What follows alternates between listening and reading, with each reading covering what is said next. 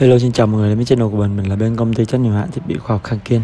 Hôm nay mình xin giới thiệu cho các bạn một sản phẩm, đó chính là chuyên duyệt tiêu chuẩn độ dãn EC các bạn ha 1413 US trên cm khối với HI 7031L và chai 500mm của hàng Hanna các bạn ha, xuất xứ tại Ý, được nhập khẩu phối trực tiếp bởi Khang Kiên.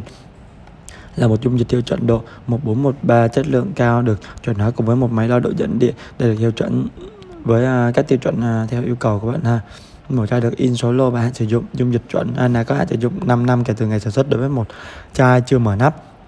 Bản giá trị TDS thực tế cho nhiệt độ được in trên thân chai và chai 500ml mà bảo vệ dưới nắp, được gắn chặt chẽ đảm bảo chất lượng của dung dịch và có nhu cầu mua sản phẩm. Vui lòng liên hệ với hotline 0938 222 991 hoặc 0936 6057 Xin cảm ơn và hẹn gặp lại những video kế tiếp.